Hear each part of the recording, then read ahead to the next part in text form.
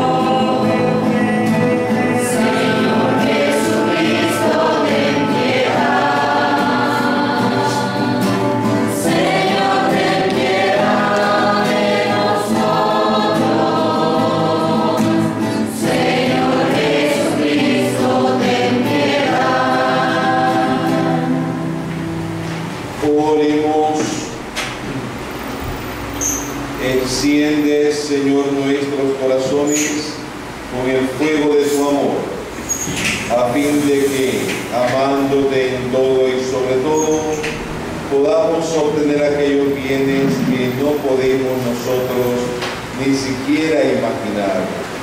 Y has prometido tú a los que te aman.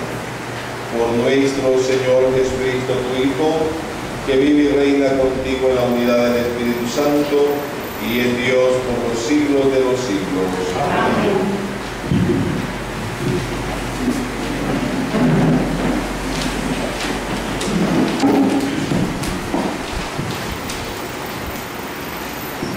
Por la mañana, sácianos de tu misericordia, Señor. Por la mañana, de tu misericordia, Señor. Señor, tú has sido nuestro refugio de generación en generación. Antes que naciesen los montes o fuera engendrado el orbe de la tierra, desde siempre y por siempre tú eres Dios. Tú reduces el hombre a polvo diciendo, retornad hijos de Adán. Mil años en tu presencia son ayer que pasó una vigilia nocturna. Los siembras año por año como hierba que se renueva, que florece y se renueva por la mañana y por la tarde la ciega y se seca. ¿Cómo nos ha consumido tu cólera y nos ha trastornado tu indignación? Pusiste nuestras culpas ante ti, nuestros secretos ante la luz de tu mirada, y todos nuestros días pasaron bajo tu cólera, y nuestros años se acabaron como un suspiro. Aunque uno viva 70 años y el más robusto hasta 80, la mayor parte son fatiga inútil porque pasan a prisa y vuelan. ¿Quién conoce la vehemencia de tu ira? ¿Quién ha sentido el peso de tu cólera? Enséñanos a calcular nuestros años para que adquiramos un corazón sensato. Vuélvete, Señor, hasta cuándo. Ten compasión de tus siervos. Por la mañana, sácianos de tu misericordia y toda nuestra vida será alegría y júbilos. Danos alegría por los días en que nos afligiste, por los años en que sufrimos desdichas, que tus siervos vean tu acción y sus hijos tu gloria. Baje a nosotros la bondad del Señor y haga próspera la obra de nuestras manos. Gloria al Padre, al Hijo y al Espíritu Santo.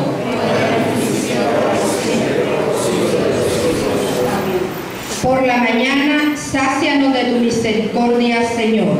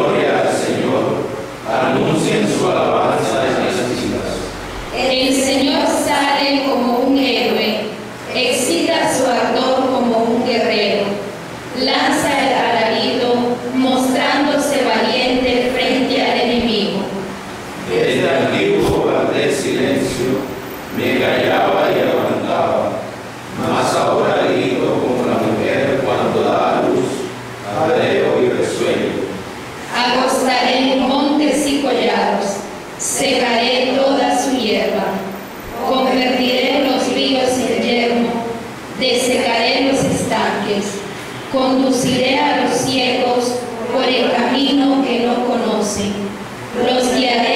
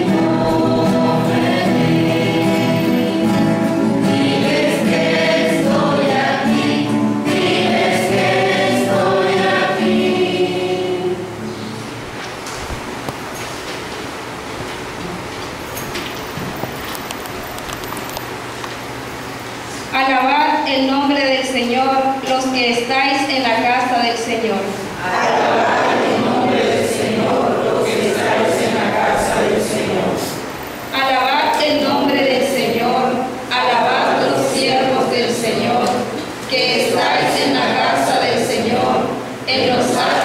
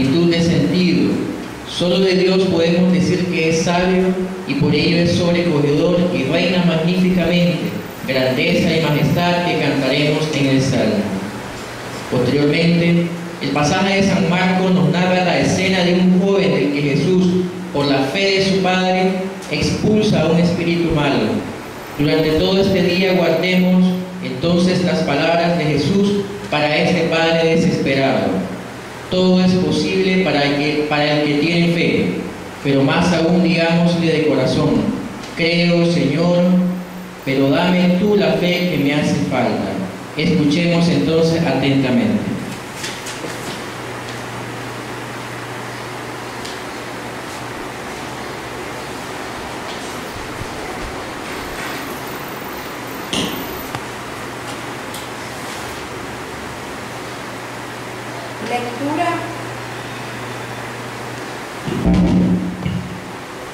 Lectura del libro de Eclesiastes.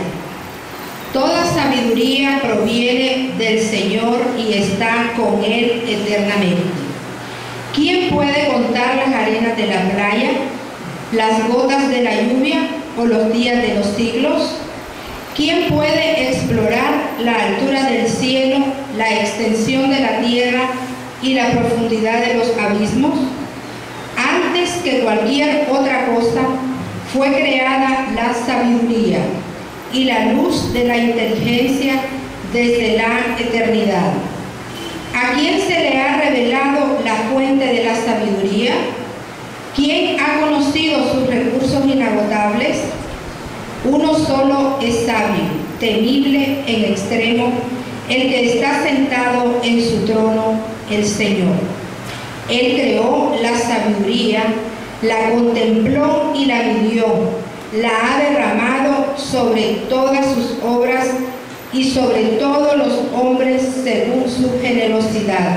La ha derramado entre aquellos que lo aman. Palabra de Dios.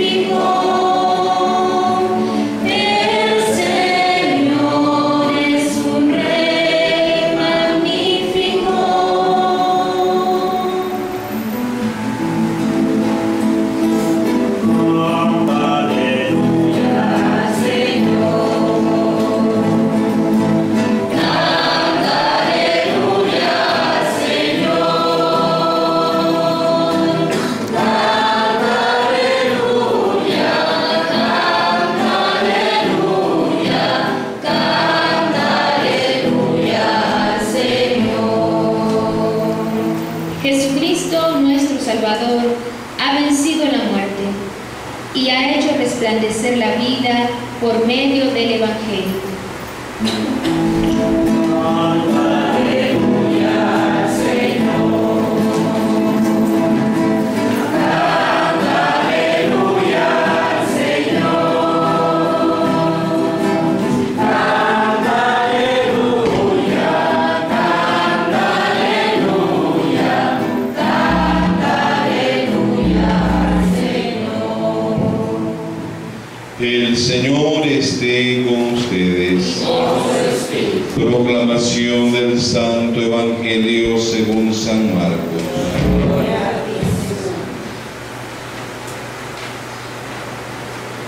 En aquel tiempo, cuando Jesús bajó del monte y llegó al sitio donde estaban sus discípulos, vio que mucha gente lo rodeaba y que algunos escribas discutían con ellos.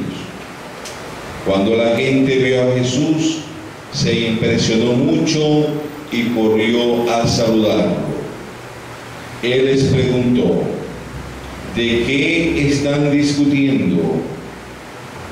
De entre la gente uno le contestó, Maestro, te he traído a mi hijo que tiene un espíritu que no lo deja hablar. Cada vez que se apodera de él, lo tira al suelo y el muchacho echa espumarajos, rechina los dientes y se queda tieso. Les he pedido a tus discípulos que lo expulsen, pero no han podido. Jesús les contestó, gente incrédula, ¿hasta cuándo tendré que estar con ustedes? ¿Hasta cuándo tendré que soportarlos? Tráiganme al muchacho. Y se lo trajeron. En cuanto él vio el espíritu por tierra, lo revolcó, haciéndolo echar espumarajos. Jesús le preguntó al Padre, ¿cuánto tiempo hace que le pasa esto? Contestó el Padre, desde pequeño y muchas veces lo ha arrojado al fuego y al agua para acabar con él. Por eso, si algo puedes, ten compasión de nosotros y ayúdanos. Jesús le replicó, ¿qué quiere decir eso de si puedes? Todo es posible para el que tiene fe. Entonces el padre del muchacho exclamó entre lágrimas, creo, Señor, pero dame tú la fe que me falta. Jesús, al ver que la gente acudía corriendo, reprendió al espíritu inmundo diciéndole, espíritu mudo y sordo, yo te lo mando, sal de él y no vuelvas a entrar en él. Entre gritos y convulsiones violentas salió el espíritu. Al entrar en una casa con sus discípulos, esto le preguntaron a Jesús en privado, ¿por qué nosotros no pudimos expulsarlo? Él les respondió, esta clase de demonios no sale sino a fuerza de oración y de ayuno. Palabra del Señor.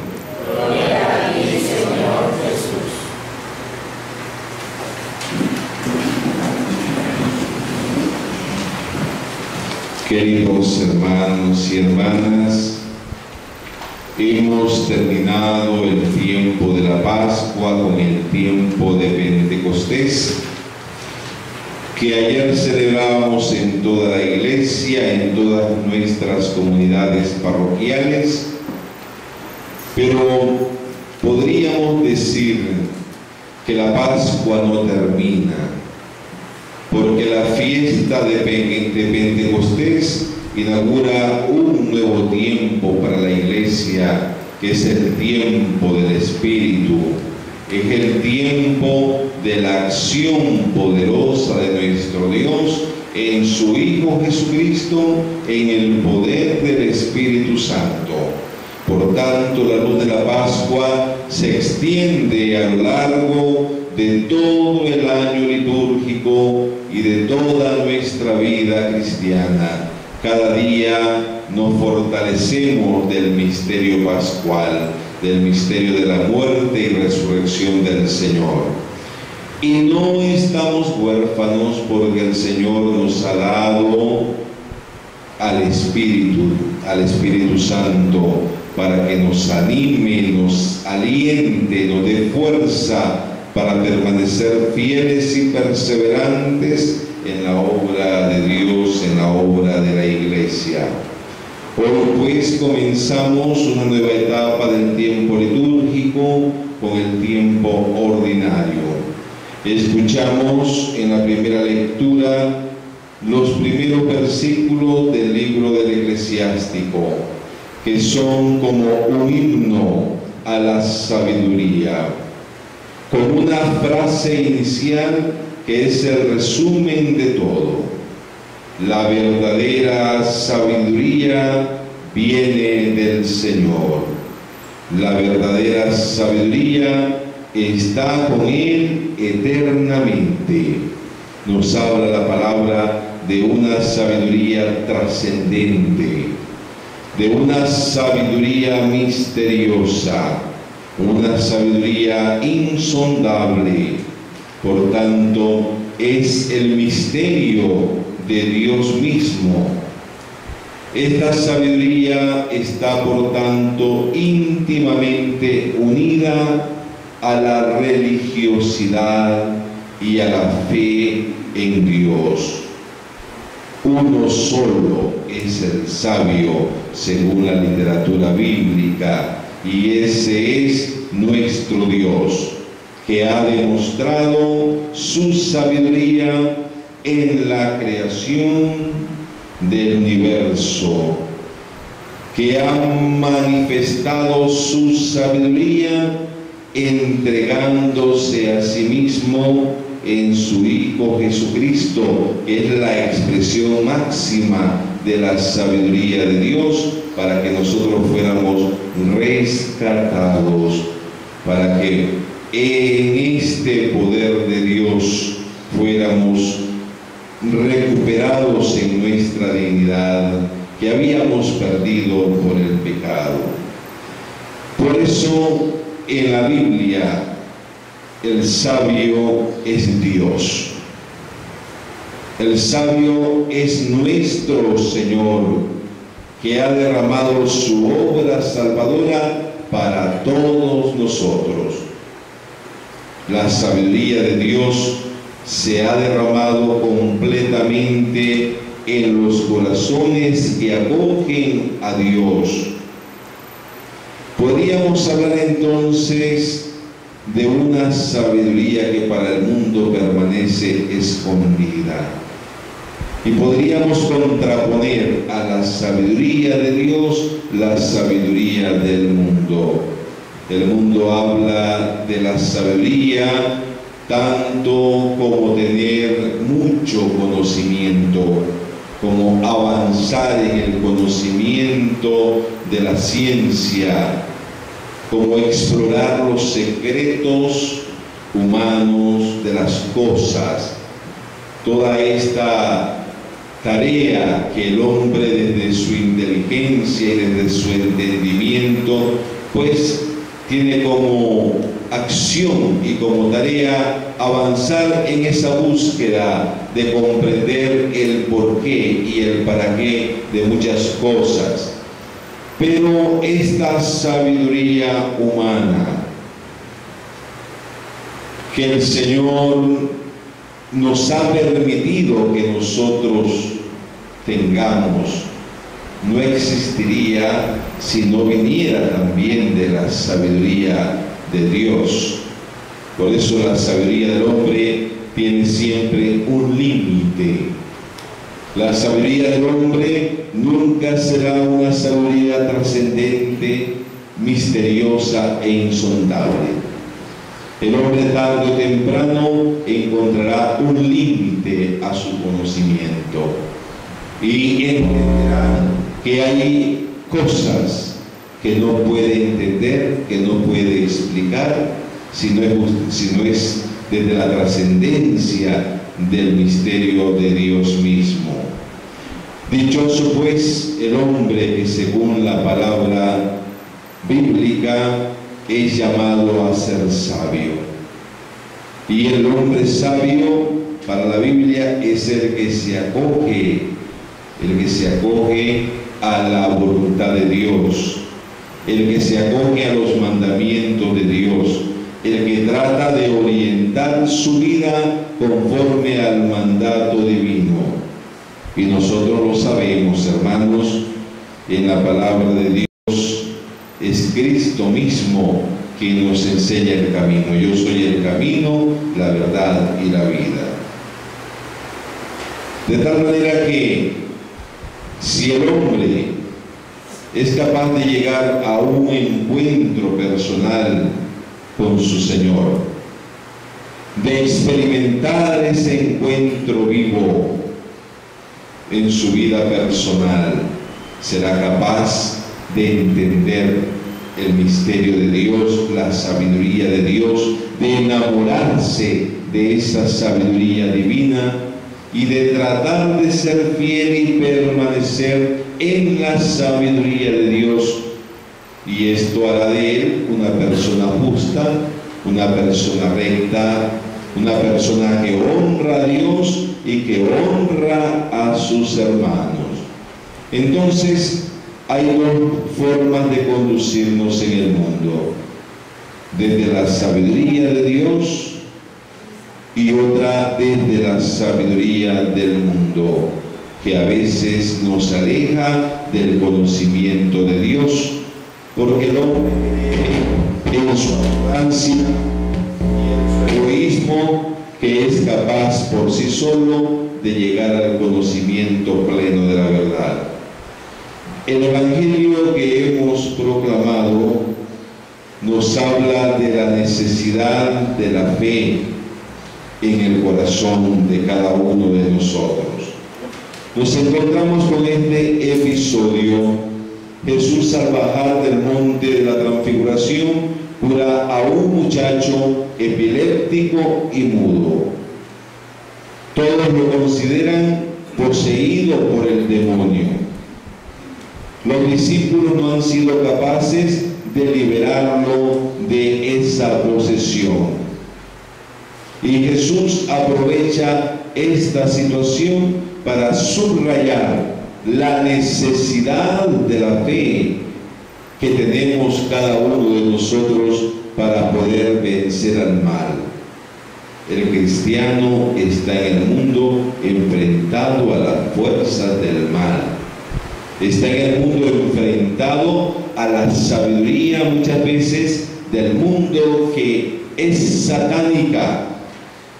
Porque cuando el hombre con sus proyectos humanos nos aparta del verdadero Dios, podríamos decir entonces que es la sabiduría del maligno la que está arrebatándonos la posibilidad de ir al encuentro con el Señor. Jesús se enfrenta y Jesús interpela la incapacidad que tienen hombres para creer. Le presentan al niño y Jesús en el poder de Dios le recupera y lo libera. Y Jesús nos da, nos da una lección. Nuestra lucha, hermanos, es una lucha contra el mal. Nuestra lucha es una lucha contra Satanás. Nuestra lucha es una lucha contra la sabiduría de este mundo. Una lucha contra el mal que hay dentro de nosotros mismos. Una lucha contra el mal que crece como una estructura pecaminosa dentro de nuestra sociedad. Lamentablemente el mal se está estructurando, el mal se está organizando y desde ahí tiene grandes secuelas para todos nosotros. La lucha del cristiano en el poder del Espíritu Santo es cada día una lucha contra el mal. Para eso estamos bautizados. Para, para eso hemos sido liberados en el poder de Cristo para luchar contra el mal. Para luchar contra esas fuerzas demoníacas que nos alejan de nuestra verdadera dignidad como hijos de Dios. Necesitamos liberación interior y nuestro mundo también necesita liberación de esas fuerzas demoníacas que le oprimen. Y Jesús, a través de buenos cristianos, hoy quiere continuar liberando a muchos hermanos y hermanas poseídos por ese espíritu demoníaco que no les deja vivir en paz, que no les deja ser libres, que no les deja encontrar el verdadero sentido de su felicidad como hijos de Dios. Vivamos pues esta Eucaristía como un momento en el que el Señor nos regala la oportunidad de beber, de alimentarnos de la verdadera sabiduría, de la verdadera fuente que nos alimenta y nos ayuda a crecer en esa lucha contra el mal. Cada día hay una guerra entre el bien y el mal. Y si esa guerra, y vamos a esa guerra como verdaderos cristianos, revestidos de Cristo en el poder del Espíritu Santo, tengamos la plena seguridad que vamos a derrotar las fuerzas malignas que nos oprimen y oprimen a veces a nuestra familia y a nuestra propia sociedad. Pidámosle al Señor que aumente nuestra fe. Señor, tengo fe, pero tengo muchas dudas. Señor, tengo fe, pero ayúdame aumenta mi fe, dame una fe grande para que yo pueda estar valientemente decidido a esa lucha contra las fuerzas del mal. Se lo pedimos al Señor para cada uno de nosotros en la Eucaristía. Se lo pedimos al Señor para que aumente la fe de nuestro hogar, para que aumente la fe de nuestras comunidades parroquiales y la fe de nuestra iglesia y la fe en todos aquellos que están alejados del amor de Dios. Se lo pedimos al Señor en nuestra celebración. Pongámonos de pie y oremos con fe al Señor por todas las necesidades de la iglesia y del mundo. Ya que Cristo escucha y salva a cuantos en Él se refugian, acudamos a Él diciendo,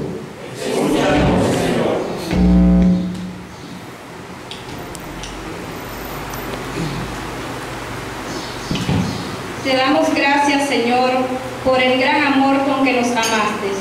Continúa mostrándote con nosotros rico en misericordia. Tú que con el Padre sigues actuando siempre en el mundo, Renueva todas las cosas con la fuerza del Espíritu. abre nuestros ojos y los de nuestros hermanos, Para que podamos contemplar hoy tus maravillas. ya que nos llamas hoy a tu servicio. Haz que seamos buenos administradores de tu mundo. Gracias en favor de nuestros hermanos. Te lo pedimos, Señor, a ti que vives y reinas por los siglos de los siglos. Este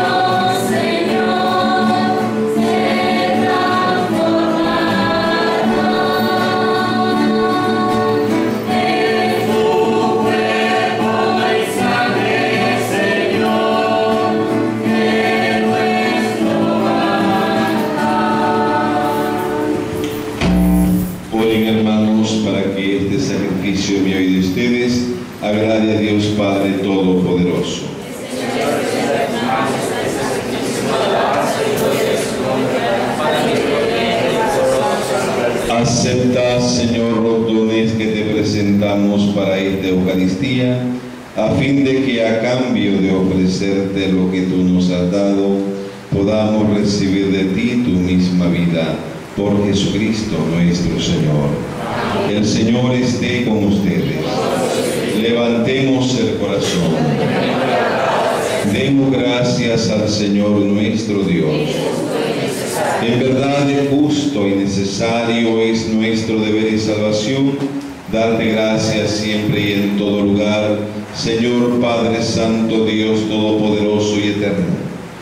Por Cristo nuestro Señor, cuya muerte celebramos unidos en caridad, cuya resurrección proclamamos con viva fe y cuyo advenimiento glorioso aguardamos con firmísima esperanza. Por eso con todos los ángeles y santos te alabamos proclamando sin cesar.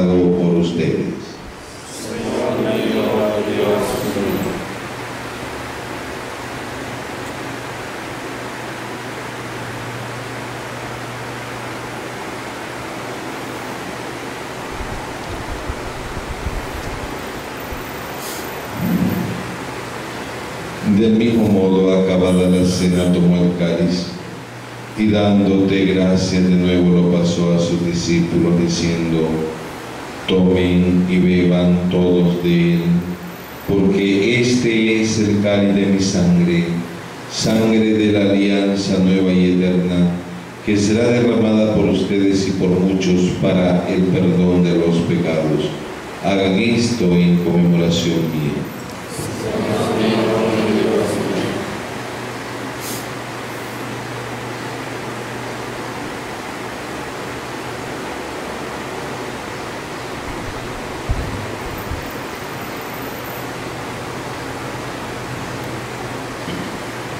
Este es el sacramento de nuestra fe.